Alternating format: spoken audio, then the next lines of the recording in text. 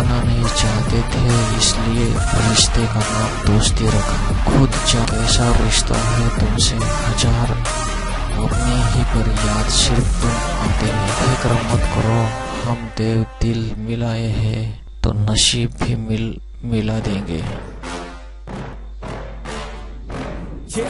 सारे लोग अपनी ज़िंदगी से प्यार करते हैं, लेकिन हम अपनी ज़िंदगी से ज़्यादा तुमसे प्यार करते हैं। तुमसे सिर्फ़ प्यार नहीं, तुम, तुम्हारे लिए पूरी दुनिया है।